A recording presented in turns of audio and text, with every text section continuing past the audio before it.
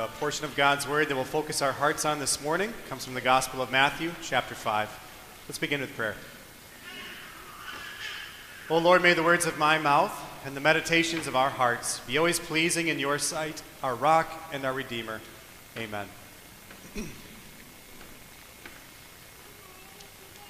Blessed is one of those words that gets thrown around pretty haphazardly these days. I'm sure all of us have heard somebody rattle off a long laundry list of all the really good things that they've got going on in their life.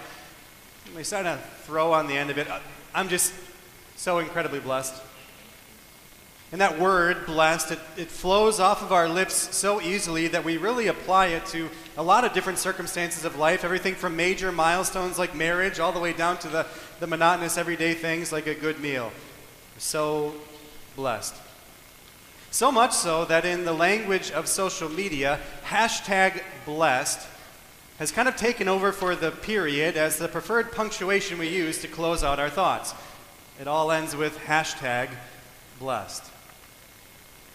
And people use that, everybody from the Super Bowl MVP to the recovering addict to the mom whose child finally slept through the night for the first time.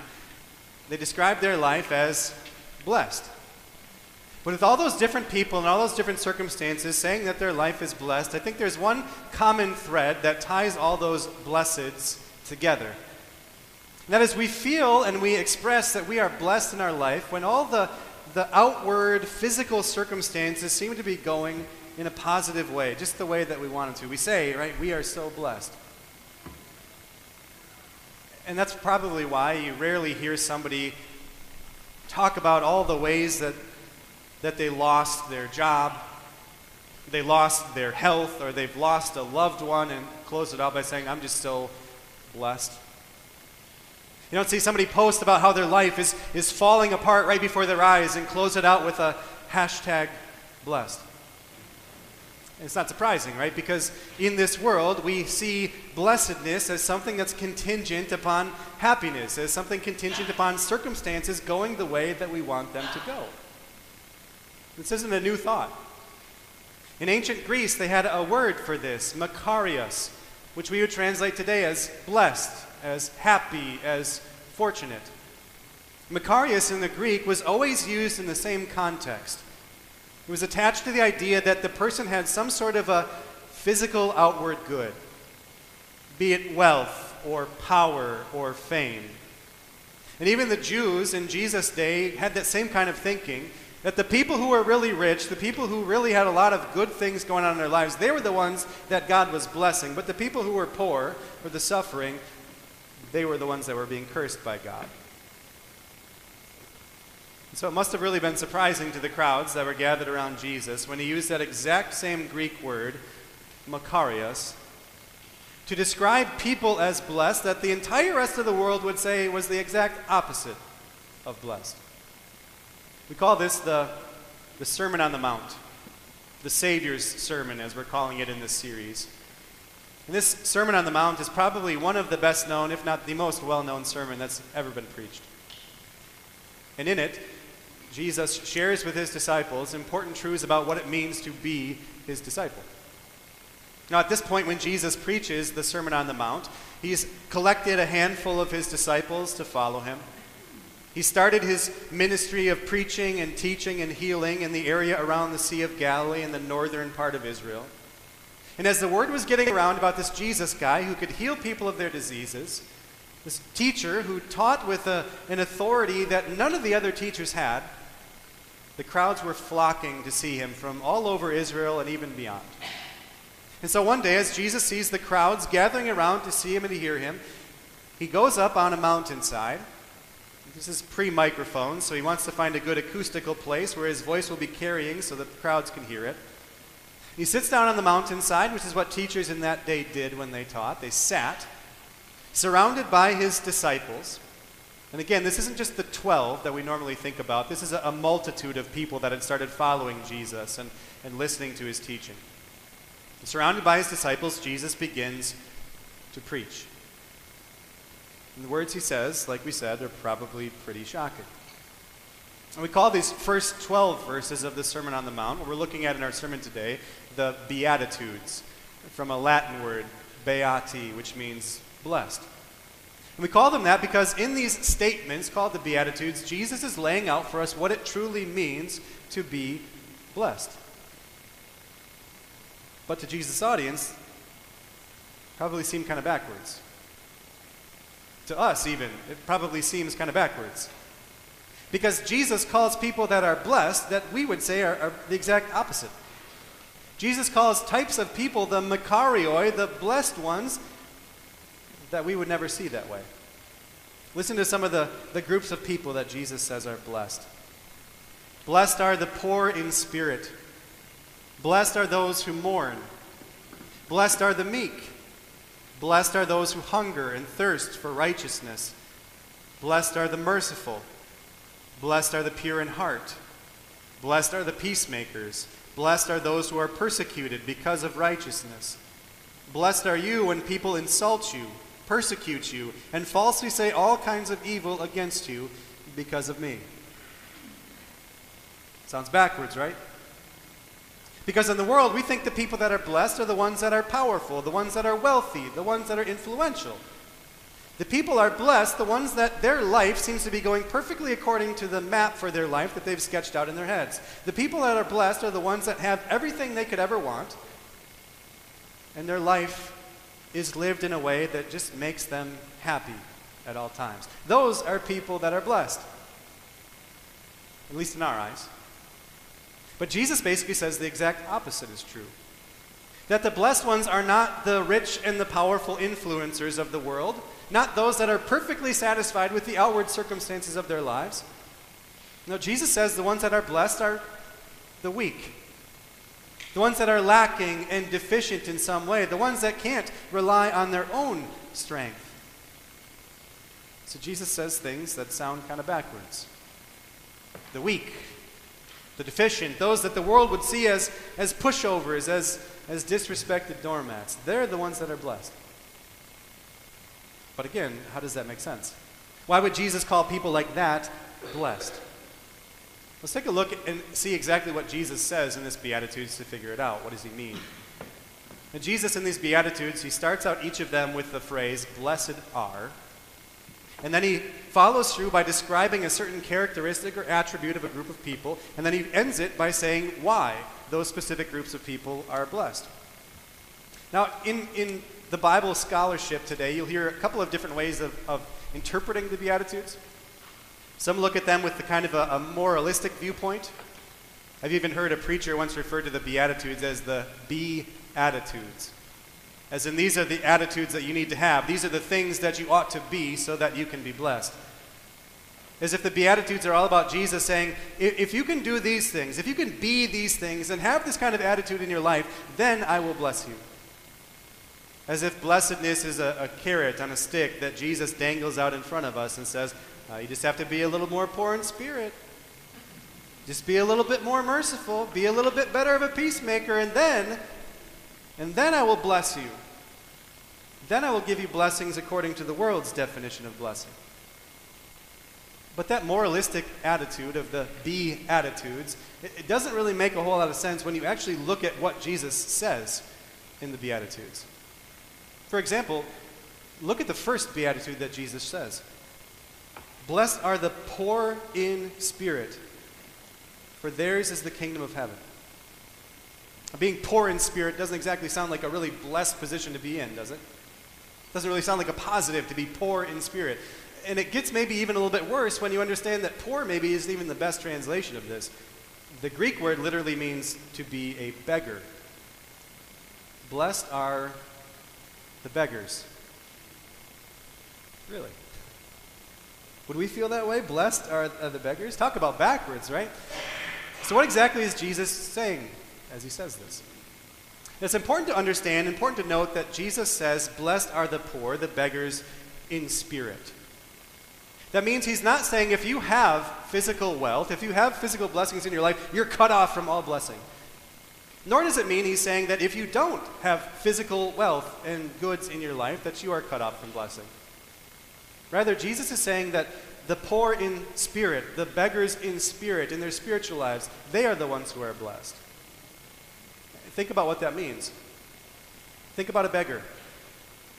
I've never met a beggar who sits on the street corner and shares a big long laundry list of all the accomplishments that they've done in their lives, all the good things that they have brought forth that you ought to be rewarding them for. No, if a person is truly a beggar, they understand that there is nothing that they bring to the table.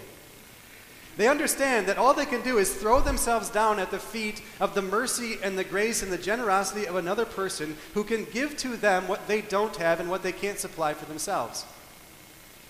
A beggar is someone that understands how dependent they are on someone else. And so Jesus says here, Blessed are the beggars in spirit. That's why Jesus is not saying to us, Do these things and you will be blessed. He's saying the exact opposite. He's saying it's not about what you can say. These are the reasons I've done all these things, so therefore God ought to bless me. Being a spiritual beggar means you understand that you bring nothing spiritually to the table that should cause God to reward you or bless you in some way. See, a spiritual beggar means that you throw yourselves down at the feet of God, entirely dependent on, on His strength and His mercy and His grace to supply what you need. So blessed are the beggars. When Martin Luther, the great reformer, died, he found a piece of paper in his pocket.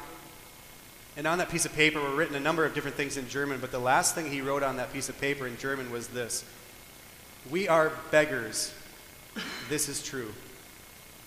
You see, when you understand the law that shows us our sin and our failures, and you understand the gospel that we have a Savior who came for us out of complete grace, we understand that we are spiritual beggars, that we bring nothing to the table how completely dependent we are to throw ourselves down at the feet of Jesus and trust that He is our strength. And really, when you look at it, every single one of the Beatitudes that Jesus says here all carry through the same basic point. That Jesus says the ones who are truly blessed are the ones who are weak, the ones who are lacking in some way, the ones that are entirely reliant on someone else in order to have what they need. The poor in spirit, like we've been talking about, those who mourn. And not just talking about people who mourn because someone that they love has died. We're talking about people who mourn over their sin, mourn over their failures, mourn over all of the, the disgusting and broken consequences of, of living in a sinful world, mourn over the sadness that we see all around us and the ugliness that we see inside of us because of our sin. Blessed are the meek. Not the people that are bold, not the ones that take power and control into their own hands and lord it over everyone else so they can have the kind of blessed life that they want for themselves. No, the meek, the passive, the ones that the world looks at and says, that's a pushover that I can use for my own advantage. They don't have any strength of their own, they put their trust in the strength of another. Blessed are the merciful those who don't hang on to the opportunities that they can lord power and revenge over somebody else to control them, but those who are willing to give forgiveness and show mercy because they trust that God is the one that's going to carry out justice and they know the mercy that God has shown to them. Those that hunger for thir- hunger and thirst for righteousness. Those that have a deep longing, desire, and need for for righteousness, for the things that God says are good and right, and yet at the same time are humble beggars who know that the only way we can have that thirst and hunger satisfied is through one who is righteous in our place. Blessed are the pure in heart. Those who strive not to live according to their own personal standards or their own sinful nature, but who strive to live that purity that God lays out for what a holy life looks like. And yet, at the same time, as a humble beggar understands that the only way we can have a pure heart is if God cleanses our sin stained hearts. Blessed are the peacemakers. Those who don't try and seize outward power and control of their lives by attacking and backstabbing everyone else so they can work their way to the top. Blessed are the ones who pursue peace. Who pursue peace because they trust that, that God is the one that is their strength, that God is the one that will be their blessing. Blessed are those who are persecuted and insulted for their connection to Christ, those that the world looks down on as a bunch of fools and a bunch of losers. Blessed are they. You see, in every way, all of the Beatitudes that Jesus shares, all of the people that Jesus says are blessed, are the ones that the world would look at and say, that's not a person who's blessed. In every way, the people that Jesus says are blessed are the ones that to the world's standards are weak and foolish and needy, the ones who can't rely on their own strength, that can't rely on themselves, but are entirely dependent on God to be their strength, to be their help. And so to be blessed means to be a, a humble, lowly, spiritual beggar who throws themselves down at the feet of God and trust in His strength instead of their own. Now, that means that in the Beatitudes, Jesus isn't saying, do these things and therefore you'll be blessed. That's the opposite of what we're seeing. Rather, in the Beatitudes, Jesus is saying, you are blessed because of these things that I have done that blessings are not dependent on the things that you do, but blessings are dependent on the things that He has done in your place. You see, with each statement of blessedness that Jesus shares, He then follows it up and tells us why those people are blessed. Not because they did those things, but because of Jesus. Right? The, the poor in the spirit, those beggars, they are blessed because theirs is the kingdom of God. Not will be the kingdom someday, They'll have it someday when they've done enough of these things, when they've been these things and had these kind of attitudes for long enough, that God will give it to them. No, right here and right now, those who trust in Jesus as their Savior, we possess the kingdom of God already. Theirs is the kingdom of God. They will be comforted. They will inherit the earth. They will be filled. They will be shown mercy. They will see God. They will be called children of God. Great is their reward in heaven. All of the reasons that these people and all those different circumstances are blessed is because of what God has done for them and what God continues to do for them. And those are all the reasons that Jesus can say to people who, an outward perspective, look like the opposite of blessed, that you are blessed. Jesus can say that about you because it's not all about you. The blessings in your life are not dependent on your actions or your emotions. The blessings that God promises are based on His actions, they're dependent on Jesus. And that's why they're so certain. That's why these are certain promises of blessedness. Because the man preaching the Sermon on the Mountainside didn't stay on the mountain. He came down from the mountain so that years later into his ministry he'd be able to climb up another mountain. On a mountain where a, a cross was waiting. A mountain where a cross was waiting so that he could pay for the sins of the whole world, so that he could rise again to give us certainty that, that the payment has been made in full. Because Jesus became that weakness for us, he can be our strength. Because Jesus sacrificed his power, he can be our power. Because Jesus gave up his greatest blessings, Jesus is your greatest blessing. You are blessed because of Jesus. And so the reality for us is, applying this to our lives, is if you look for blessedness in your life according to the, the standards of the world, according to all those outward physical circumstances, then your blessedness is always going to be temporary. It's always going to be uncertain. It's always going to be shifting because it is oh so fleeting. One minute you feel oh so blessed, and the next minute it's gone. See, if you find your blessings on the things of this world, on the perspective of this world, then you're never going to be certain of your blessings. But if you find your blessings on Jesus and the work that he has done and continues to do for you, then no matter how weak you feel, no matter how hopeless or helpless your life might seem, no matter how broken you and your life seem to have become, you're blessed. You're blessed because He is your strength, because He is your hope, because He is your help, because He is the one that has made you whole. And so when you find your blessings in Christ, it means that you are blessed no matter what.